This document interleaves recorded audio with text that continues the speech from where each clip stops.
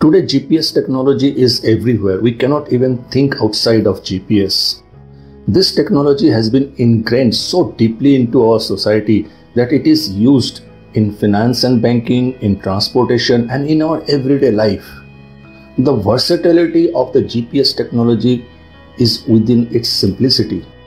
Imagine a satellite 20,000 kilometers out at the space sending down a signal to your receiver and you are getting your position on the earth. But here lies the problem in its simplicity. Anybody with a nefarious intention can change the signal or spoof the signal. Today, the world is a very dangerous place. More so if you are flying from one continent to another. Airplane ships, they rely on the GPS technology to tell them where they are on the earth.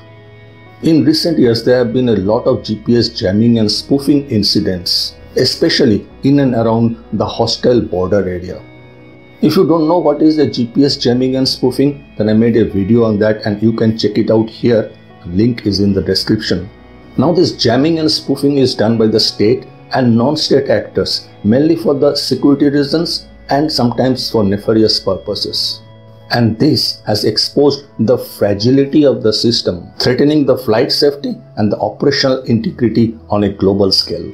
What if we could have a system that is immune to the electronic warfare like jamming and spoofing? We can take a leaf from the forgotten history of the early mariners who braved the high seas and navigated across the globe. And the answer lies in the celestial navigation.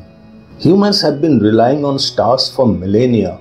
Prehistorical humans noticed star patterns and used them for tracking various seasons. Polynesian master navigators memorized stars to sail across the vast ocean. Babylonian, Egyptian, and Greek astronomers used stars as early as 600 BCE. But the stars are good only in the night time and we cannot see them in the day. Yet they are always there. All you need is the right tool to find them.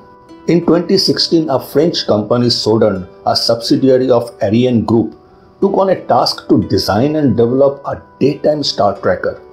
The aim is to create a star tracker which operates in the Earth's atmosphere even in the daytime and which can be used to determine the position with a high degree of accuracy without depending on global navigation satellites.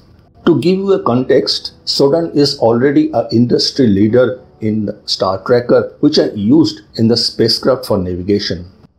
All they have to do now is to adopt a way to look at the stars even in broad daylight.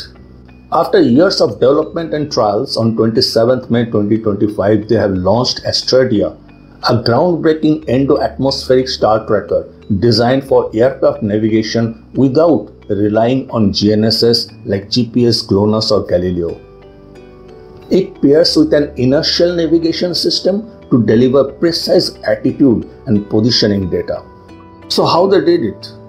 Astradia uses algorithms refined from the Sodern's space-based star trackers.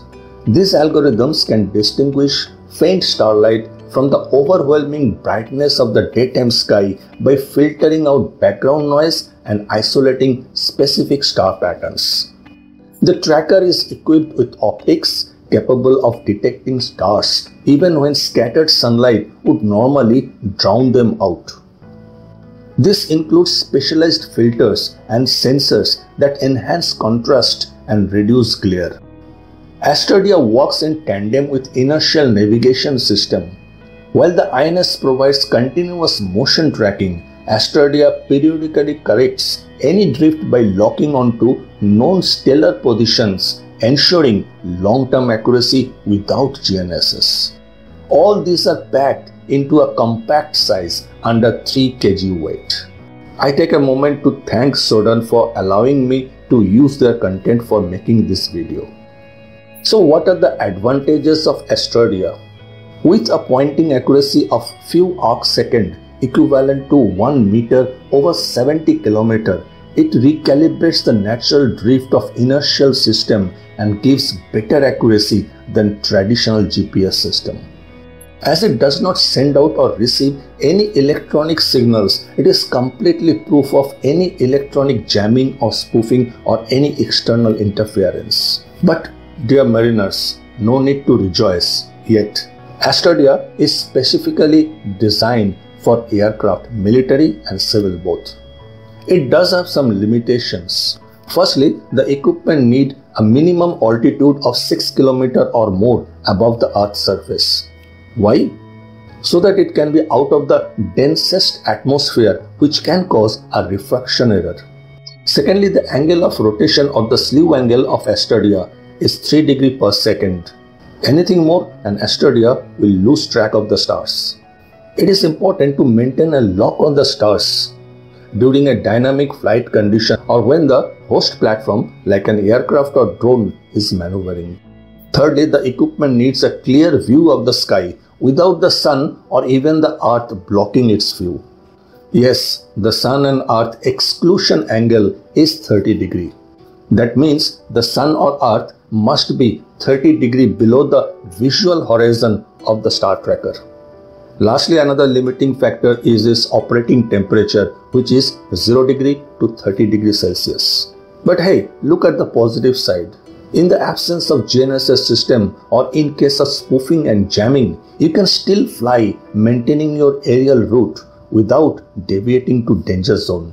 Ain't that good enough? I have no doubt that this system is going to revolutionize the aerial navigation and make it much safer. Given enough time and funding, who knows, Sodern might even develop a star tracker for us the mariners. I urge you to head to the sodern.com to know more about this game-changing star tracker. Do you know that a new quantum navigation system using the Earth's own magnetic field is being developed? If you want to see this quantum navigation system in my next video, make sure that you subscribe. If you want to know how we can find our position without using GPS, then you should watch this video next. So friends, ask questions and always be curious. I'll see you around.